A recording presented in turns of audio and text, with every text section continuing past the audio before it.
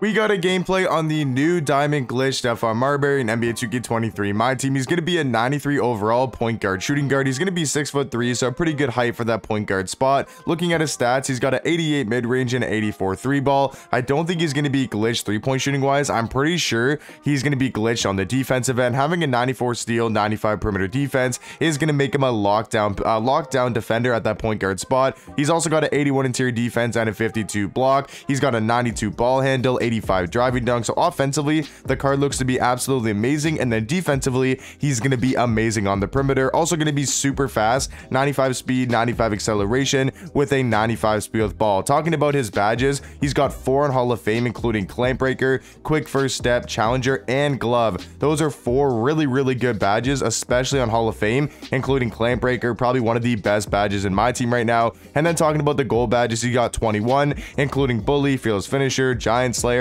Ankle Breaker, Hyperdrive, Killer Combos, Post Playmaker, Unpluckable, Clamps, Interceptor, Menace, Pogo Stick, and he does have 7 on Silver as well. Honestly, guys, I think Stephon Marbury looks to be one of the better point guards in my team. I think you could honestly argue he is going to be a top 10 point guard in my team right now. He's going to be up there with guys like Derrick Rose. He's going to be up there with guys like Caruso, DeJounte Murray, De'Aaron Fox. I do think he's going to be kind of around the same tier as those guys. And where's Marbury? There's Marbury. So let's go test out his jump shot.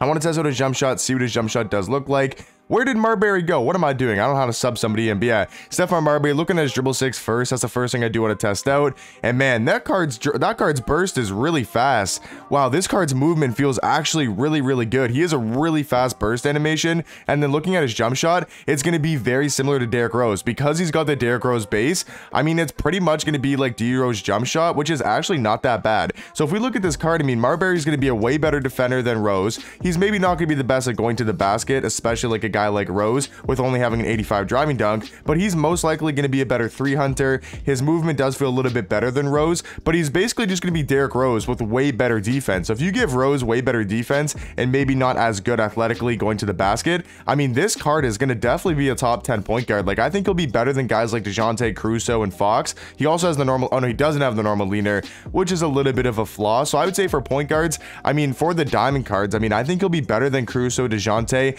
and De'Aaron Fox. So after that, I mean, I think he'll just be Derrick Rose, but better. I'm not going to say he's better than like John Wall, Gary Payton, those guys, but I mean, he's going to be definitely a top 10 point guard, and especially for his value, he is going to be such good value for a point guard. But let's go green one more three, and let's get on to the diamond Stephon Marbury gameplay. Into the clutch time game, my opponent does have a pretty good squad. He's got guys like Magic Johnson, Joel Embiid, Tim Thomas. So he's got a very good team, and this should be a good matchup for Marbury. He's going to try to go to the basket on the first possession, but my opponent's going to play some pretty good defense. He's going to pull up on the break with Tim Thomas, and he's going to end up airballing that shot. But we got to run in transition. Got to get Marbury going on offense. Going to find Kareem on the inside. Can Kareem get that dunk to go? And yes, he can. I'm telling you guys, like offensively, I do think Marbury is going to be pretty solid, but I do think defensively, that's probably where he's going to be a little bit better. Having that 95 perimeter, 94 steal, I'm pretty sure like he's going to be a great perimeter defender as we're playing some great defense on Joel Embiid. Got to watch that shot back go to Tim Thomas, and we literally left the best card in the game wide open. You just can't do that. But offensively, I do want to see what this card can do because like I said, I know defensively what he's going to be able to get into is we're going to find Anthony Davis there for the normal fade, and we are going to be able to knock it down. I mean, Marbury starting off with two assists is definitely what you want to see. Got to lock up Magic Johnson. He's going to pull up from there. No way. Can we grab the rebound? Yes, we can. And let's get the ball into the hands of Marbury. Looking to take my man. Is that Eddie Jones? I'm pretty sure it's Eddie Jones. Looking to take him off the dribble. Marbury going all the way to the basket. And he can't get that dunk to go. So I will say, not necessarily a flaw about the card, but one thing he's not going to be the greatest at is going to the basket. He's still going to be good at going to the rim, like 85 driving dunk. Pretty good defense from Marbury. Good recovery. Good defense. Can we get the contest? We kind of don't get a contest, but not bad defense. But what I was saying about Marbury, he's not going to be the best at going to the rim. And with the meta this year, I mean, the meta is just going to the basket and being able to dunk. So that's going to be a little bit of a flaw for the card. But we're trying to pull up on the break. Can we get that to go? And no, we can't. Got to hustle back. He's got magic in transition. And we are going to let him go all the way and get that dunk. So I will say, Marbury, I wish could dunk a little bit more and have like a 95 driving dunk. But I still do think offensively, he is going to be a great point guard. As we, be able, we got to be able to knock these down. That is on me, man. We've got to be able to knock down these threes. What am I doing, man? I cannot make any threes right now. Like, I know we got zero points, but those are two threes I feel like I just gotta be able to knock down. But look at Marbury playing defense. He's gonna get that tip pass, uh, tip pass, and we are here getting a contest on Magic, but he's gonna end up greening the 14%. I mean, that's great defense from Magic, getting that tip pass, and then also getting a 14% covered uh, contest on Magic. Like, that's not bad at all, man. That is not bad. Trying to find Tim Thomas on the normal fade, and we are gonna be able to knock it down. I mean, Marbury's getting assists. He's finding his teammates wide open. We just gotta be able to knock down those threes. Like, dunking wise, like I was saying, I do wish he was a little bit better going to the basket, but defensively, this card does feel really, really good as we're going to let him go to the basket there, and he's going to get that layup to go. I do think he'll be a good defender. I just wish his driving dunk was a little bit better, but guys, let me know in the comment section down below. What do you guys think about this Stephon Marbury card? Do you guys think he's going to be a top 10 point guard? Is man, he's just getting blocked at the rim every single time. My opinion is starting to change a little bit on this card because he's just getting blocked at the rim every single time, but his defense is literally so good. Look at Kareem playing defense. We're going to get the steal.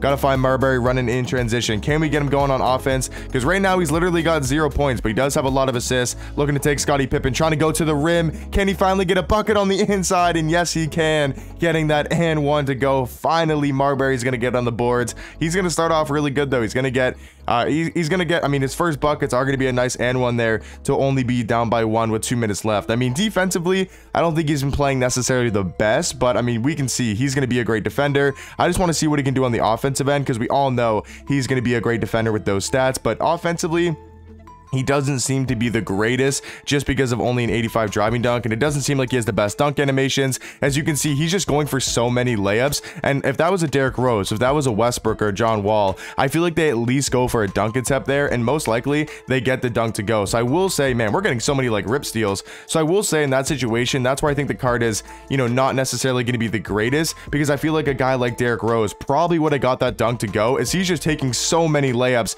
but we'll finally get one to drop there. So that's my only only flaw about the card I will say is just the fact that he seems to be taking a lot of layups and really doesn't have probably the best dunk tendency or something about the card. He's just not able to flush down like these crazy contested dunks, but defensively, he is flying around the court. That is great defense as we are going to force a shot clock violation. But like I was saying, guys, let me know in the comment section down below. What do you guys think about this Stephon Marbury card? I do still think he's going to be a top 10 point guard. I do think he'll be better than guys like Caruso, DeJounte Murray, and De'Aaron Fox. I think it's closer than I thought it would be, but I still do probably like him a little bit more. His burst is amazing as I try to pass that to Anthony Davis, but we're going to get that layup to go. I mean, he's got five points and three assists. There was that one three that I definitely got able to knock down. I'm still kind of getting used to his jump shot. I haven't used D Rose in a while, so I do kind of got to get used to his jump shot, but man, Magic gonna get a blow by animation there and go all the way to the basket. Not what you want to see from Marbury on the defensive side of things, but can we get it back? Can we get the bucket back? Only 46 seconds left. We gotta be able to score the ball, man. We have got to be able to score the ball. Marbury looking to take him off the dribble. That's just not good offense. That is just not good offense, but Marbury with a little bit of space, no stamina. The no stamina shot. Marbury's gonna be able to knock it down. That is kind of funny how literally I have no stamina in the worst situation possible, and that's gonna be the first three we make. Gotta play some good defense. Look at Marbury on the defensive end. We're gonna get that steal and we are running in transition. He has literally got no stamina, looking to take people off the dribble, gonna find Kareem on the inside, and now Marbury's starting to cook a little bit more. He's got eight points and four assists on the ball game. We do have a four-point lead. No way he makes that. Can we grab the rebound? Yes, we do, and it looks like that might be the ball game unless we turn it over. Gotta find Tim Thomas here on the wing. Can we knock it down for game? Tim Thomas with the normal leaner, and we're able to knock it down. I mean, Marbury stats-wise, I mean, he played pretty good, man. Eight points, five assists. That's definitely very solid. I do wish defense defensively he played a little bit better.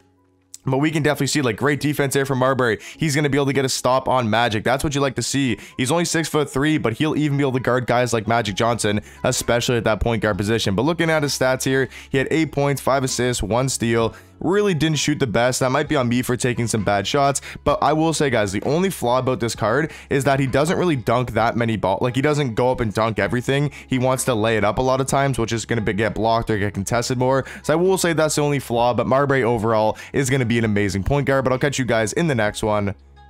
Peace.